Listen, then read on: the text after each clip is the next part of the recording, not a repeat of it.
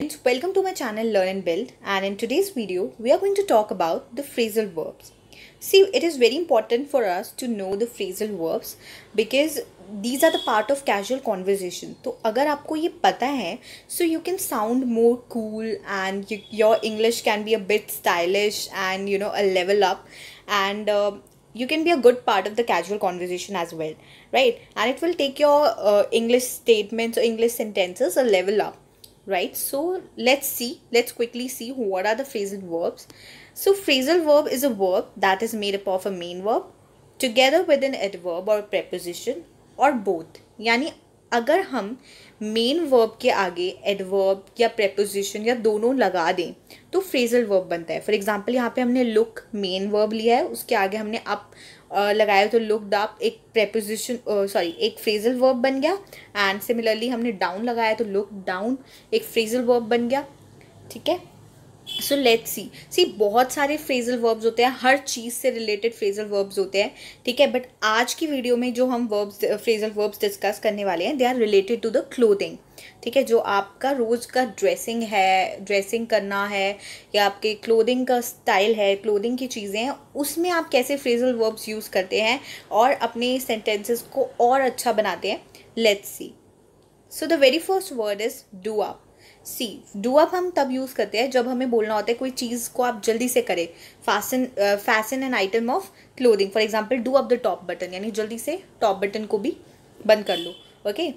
then dress up dress up is a very common phrasal verb हम सब use करते हैं ऐसे। जब भी हम अपने बेस्ट क्लोथ्स में अपने क्लोथ्स में ड्रेसअप होते हैं या किसी और को ड्रेसअप करते हैं सो so, हम उसके लिए ड्रेसअप यूज़ करते हैं। She dressed her up like a doll right next is hang out जब भाई कपड़े हम वॉश कर लेते हैं उसके बाद हम उसे बाहर सुखाते हैं सो uh, so उसमें हम हैंग आउट यूज़ करते हैं। Have you hung the clothes out right so because ये पास्ट टेंस में सेंटेंस है तो ये हैंग का हंग यूज़ हो हंग हमने वर्ड यूज़ किया।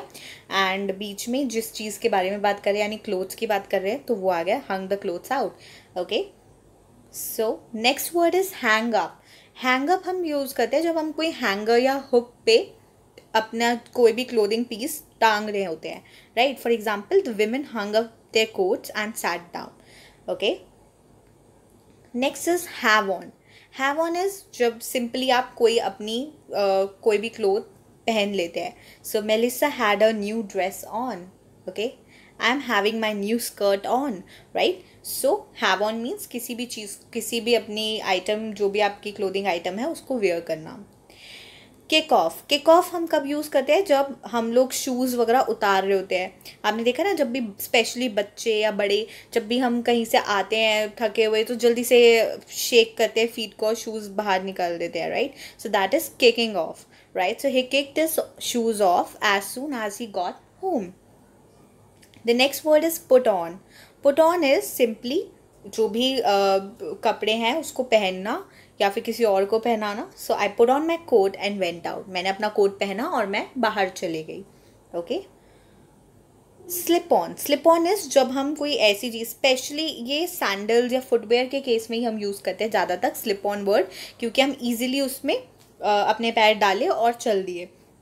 राइट right, तो जो ईजिली हम क्लोथिंग पीस डाल लें और चल दें जनरली हम ज़्यादातर इसे फुटवेयर में यूज़ करते हैं। She slip the sandals on and went for shopping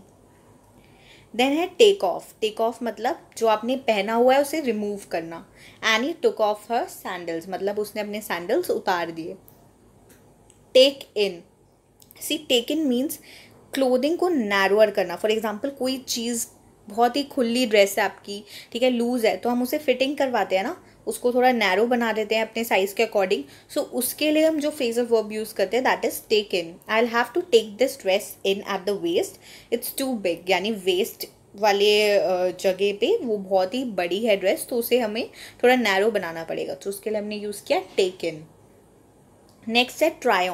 on name से ही पता लग रहा है कि किसी भी क्लोदिंग uh, आइटम किसी भी चीज़ को ट्राई करना कि वो आपको फिट आ रही है या नहीं आपके ऊपर अच्छी लग रही है या नहीं। So what a lovely dress why don't you try it on right कितनी अच्छी ड्रेस है आप ट्राई क्यों नहीं करते? Then throw on throw on is जब आप बहुत जल्दी और केयरलेसली बस जो मिला वो पहन के चल दिए बहुत जल्दी मैं जो भी मिला बस पहना और चल दिए। सो so, उस केस में हम थ्रो ऑन यूज़ करते हैं। She just threw on the first skirt she found found and went out यानी उसे जो भी पहली स्कर्ट मिली उसने वो पहना और वो चल दी। ये हम यूज़ करते हैं जब हम बहुत ही जल्दी और जल्दी जल्दी से केयरलेसली बस पहन के और निकल लेते हैं कहीं पर तो जल्दी जल्दी पहन लो ना किसी चीज़ को so that is throw on next is turn up turn up हम कब यूज़ करते हैं? फॉर एग्ज़ाम्पल कभी आपने देखा होगा कोई ट्राउज़र या कोई ड्रेस या जीन्स कुछ भी अगर वो बहुत बड़ी होती है तो हम उसको नीचे से ऊपर फोल्ड कर लेते हैं। सो so, उसे हम कहते हैं turn up her jeans were too long so she turn them up right ताकि वो बेटर फिटिंग की हो जाए। ठीक है? तो उसको टर्न अप कर लेना फोल्ड करवा लेना या फोल्ड कर लेना इस टर्न अप करना।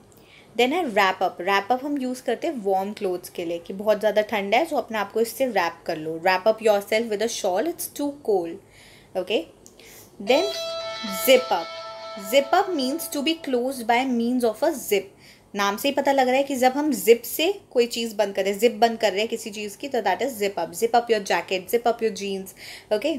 then let out let out means किसी भी क्लोदिंग की आइटम को वाइड बनाना। सी टेकन था नैरो करना, उसको फिटिंग का बनवाना। वाइडर मतलब अगर हम बहुत टाइट है और हम उसको खुलवा रहे हैं so that is let out I am going to have this skirt let out okay then next word next one is let down use the extra cloth in the hem of a piece of clothing to make it longer so for example आपका कोई चीज़ length में छोटी है सो उसके अंदर जो एक extra मेटी extra cloth दिया होता है उसको आप कई बार होता है ना उसको खुलवा लेते हैं उसको अपनी साइज़ की लंबी बना लेते हैं। ठीक है? सो उसके लिए हम यूज़ करते हैं let down this skirt needs letting down so these were the phrasal verbs related to clothing and अब आप इसे यूज़ कीजिए और अपनी जो नॉर्मल सेंटेंसेज हैं क्लोथिंग से रिलेटेड उन्हें और अच्छा बनाइए और बेटर और स्टाइलिश बनाइए। And Thank you for watching this video and please do not forget to like, share and subscribe.